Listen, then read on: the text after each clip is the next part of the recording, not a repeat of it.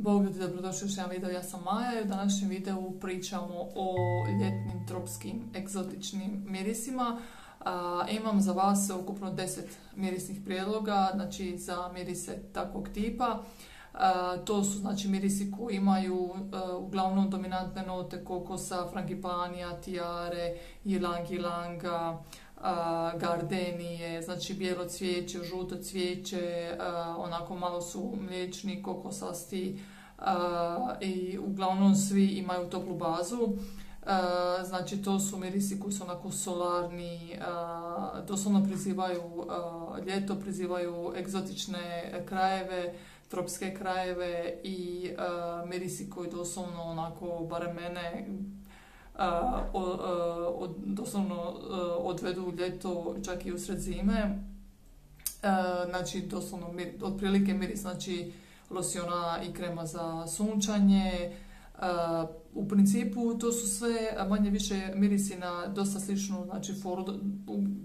Note se onako minimalno izmjenjuju kod svakog, kod svakog od ovih predloženih mirisa i zaista moram priznati da je svaki poseban na svoj način u smislu da ne mogu reći da, uh, da uh, od ovih deset predloženih da su mi doslovno dva kompletno identična. Nisu, znači, upravo o, o toj koncentraciji, odnosno količini nota koja se nalazi u svakom tih mirisa, u tome je zaista i razlika u kompletnoj kompoziciji ovo su isključivo samo prijedlozi i znači moji prijedlozi mirisa koje sam imala, koji još uvijek imam u kolekciji, koje sam probala i slično i koji za mene su zaista ono doslovno miris ljeta, znači tropsko, egzotično i stvarno sunčano i izdvojila sam te koji su, za koje smatram da su svakako vrijedni pažnje, pogotovo iz tog razloga što u svakom od tih deset sigurno neko može naći uh, miri za sebe. Neću se zadržavati dugo na recenzijama, eventualno možda na ovi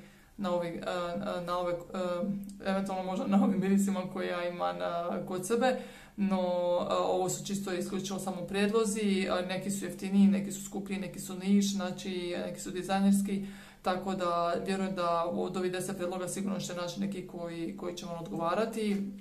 Ili ako ništa drugo, barem da isprobate čisto da vidite ovaj, to ono što, što želite.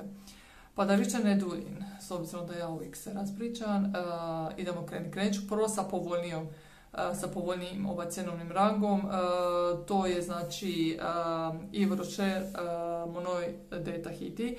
Znači to je doslovno Mislim, vjerujem da, da znate, vrlo popularno njihovo ulje sa šljokicama, a preplanula koža i šljokice na koži preko lita su meni ono vrhunac. Zanimljivo je što je Monoi de Tahiti radila ista parfumerka koja je radila i jedan Tom Fordov miris kojeg ću spomenuti kasnije. Tako da svakako vrijedan je isprobavanja kao i cijela ta linija, zaista mirišu tropsko, egzotično i cjenovno su zaista prihvatljivi. Sljedeći u povoljnijem rangu je od Lerbolarija Tiare. E, također, znači cijet tijara, kremasto, kokosasto, e, odličan, odličan tropski miris e, za preko ljeta. Sljedeći je od Nuxa, znači Nux Le Parfum Prodigy, valjda se tako izgovara. Uglavnom, znači, to je miris njihovog popularnog, onog originalnog prvog suhog ulja za tijelo, kožu, znači lice i kosu. Ima gardeniju, ima kokos, ima vaniliju, tako da od svih njegovih, od svih nuks mirisa on je onako nekako najviše egzotičan i tropski. Od dizajnerskih, od Armanija San Di Gioia, također onako zaista tropski, ima Frangipanija, ima Ylang Yelanga, također vanilju ima u bazi, no meni on nažalost nije odgovarao zato što mi je jednostavno na mojoj koži je bio previše voskast i jednostavno to mi nije odgovaralo. To je ono što, što je nažalost mana, barem iz mog iskustva kod tih e, tropskih e, ljetnih e, mirisa, to što zaista neki znaju mi izvući tu nekako voskastu voskastu, bla, bla, bla, voskastu notu koja mi jednostavno bude previše i jednostavno ne slaže se sa kemijom moje kože. Ali generalno onome kome odgovara, naravno e, s čijom kožom jel, paše, sigurno će biti ovaj, oduševljen mirisom jer zaista miriše totalno ljetno, totalno tropsko, totalno egzotično i mislim da mi je to čak i najdraži miris iz te linije. Sljedeći od dizajnerskih Jägerlan uh, Terracotta Le Parfum. On je bio prvotno izašao kao limitirana edicija, no međutim izgleda da više to nije. znači zaista onako osunčani, cvjetni, kokosasti, kremasti miris predivanje, no međutim s sam također imala sličan problem kao i san Dijoja, s tim da mi on bio manje voskast, ali jednostavno bio mi voskast i previše kremas za moj ukus, ali zaista je perfektan za, za ljeto, također definitivno vrijedan pažnje. Sljedeći je Tom Ford Eau de, Sol... Eau Soleil i Soleil Blanc garant izgovaram krivo. Uglavnom, znači, ukratko, to su e, e, dva mirisa znači, u parfemskoj i toaletnoj koncentraciji. Razlikuju se. Generalno je u zraku kad se osjeti, to zaista je dosta su slični jedan s drugim, no međutim, po meni uh, Eau de Soleil je ipak više, više mi je na mojoj koži, više onako lakši, prozračniji i nježniji u odnosu na parfemsku koja je baš onako konkretnija i dosta, vam reći, onako thick, gusta i, i, dosta je kremasta. E, jedan i drugi, znači, mislim, ne, po mom mišljenju mislim da nije potrebno na to u kolekciji, ali ako ste baš onako teški ljubitelj tih tropskih mirisa, onda zašto ne, naravno. Parfemsku verziju je znači radila ista parfumerka koja je radila i Monoi od Yves Rocher. Odličan tropski miris sa baš onako, rekla je poprilično velikom dozom bijelog cvijeća, žutog cvijeća i kremastih nota, pogotovo znači baš onako onog mliječnog kokosa. Neizostavni Estee Lauder i Bronze Goddess Imala sam onu staru verziju od prije 10 godina, i, e, no međutim i ova e, među novim verzijama ubacit ću vam sliku na koju točno mislim, je također baš onako savršena, idealna za lito. Koliko sasto, kremasto i od ništu je vrlo, vrlo popularni Intense TR od Montal on je onako nuklearno e, snažan e, i nevjerojatno, nevjerojatno trajan. Jako, jako kremasto, kokosast sa snažnom e, notom tijare koja je nažalost i za moj ukus bila malo tumač, no stvarno je prekrasan miris. Možda bi je trebalo opet isprobati, ali Montal mirisi su stvarno onako ono, brutalno snažne projekcije i trajnosti i stvarno je odličan miris po, znači po kvaliteti i po intenzitetu i tople preporuke od mene za njega. Odličan miris znači za lito. Mogao bi on čak i tijekom cijele godine ako vam ne smeta u zime nositi takav tip mirisa. znači jako kremast, jako ima tu izraženu notu tijare i jako trajan sa ogromnom aurom, tako da stvarno ako volite na primjer prilike L'Herbolario uh, tijare, to je onako, ajmo reći malo konkretnija i snažnija verzija otprilike. A, s obzirom znači, na, od ovih svih spomenutih, ja u svojoj kolekciji trenutno imam dva ta ljetno-tropska koja se meni onako najviše sviđaju i e, za koje, ova, i koje mi jednostavno nekako najbolje odgovaraju e, na mojoj koži. Prvi je znači, od uh, Aerin Hibiscus Palm. ovo je također znači, baš pravi ljetni miris. No ono što mi se sviđa što je ova mliječna, kremasta, kokosasta a, kombinacija nota je više u pozadini, a sprijeda je više dominira cvijeće. Iz tog razloga mi nije onako previše previše kremasti, previše onako, jednostavno zna, takvi mirisi zaista znaju izazivati čak i mučninu. Naravno, ko može podniti malo da mu neće to izazivati, no međutim, meni jednostavno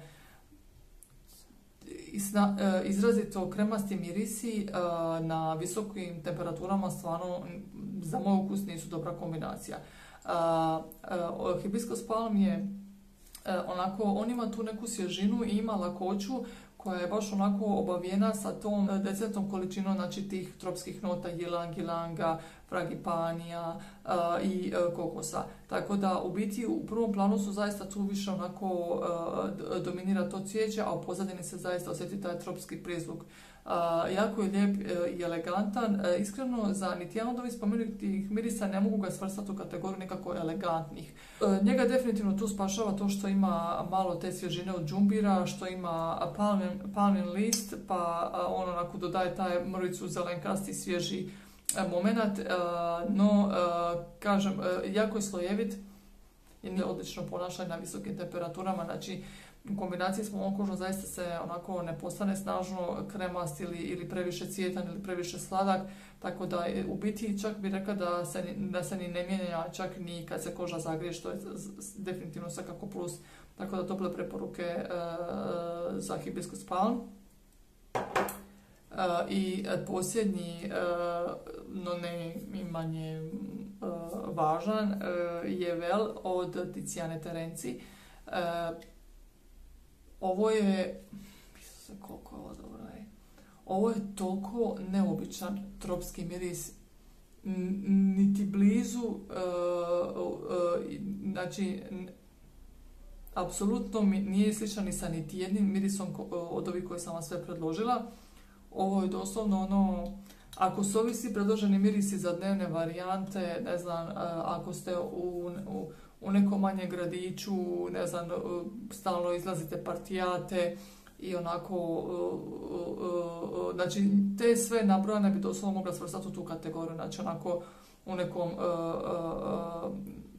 ne znam, ljetnom gradiću uz more ste, non stop partijate, zabavljate se, izlazite vanka s prijateljima, znači po cijele dane ste na plaži, na večer to je partijanje i tulumi, svi ti mirisi doslovno koje sam predložila mogu i zato, jedino vel bi stavilo kategoriju a, ne znam, skupog rezorta, a, ljetovanja na jahti, znači ne, ne krstarenje na, na, brodu, nego više znači, na jahti, probrana ekipa, skupi izlasci u smislu luksuznog restorana, znači gdje nema puno gužve, gdje su svi onako preplanuli u nekoj svijetlo, bijeloj lanenoj odjeći, veliki šešir, sunčane naočale, znači to mi je ono doslovno holiday resort, jer ovo je doslovno, ovo ima nenormalno puno slojeva, znači svaki put kad ga pomirišem doslovno mi je u glavi ležanje znači na privatnoj plaži,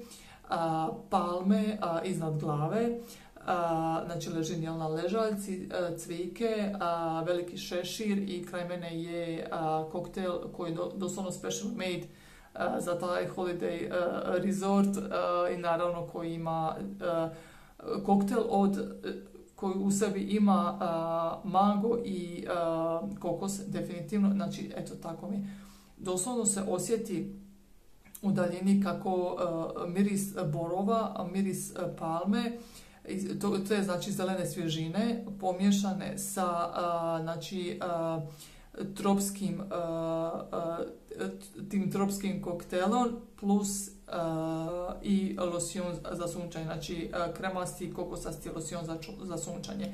S tim da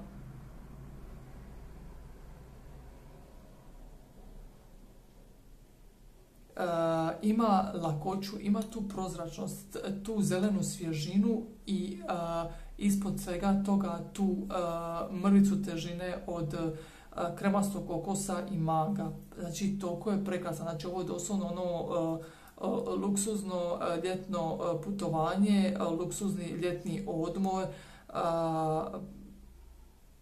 Znači, nema riječi. Ja sam toliko iznenađena sa ovim mirisom, ja vam to ne mogu pisati. E, nekako fenomenalno prikazano da, da jednostavno uh, uh, ne, ne znam, svaki put kad se, svaki put kad ga isproma stvarno ono, odem u tropske krajeve i prezentacija predivna. Bijela boja mu u potpunosti pristaje, znači ovo stvarno je doslovno, niko, ni, ni, ni ja mu ne bi, ni sama ne bi bolju boju izabrala, baš onako ono, luksuzno uh, ljetno uh,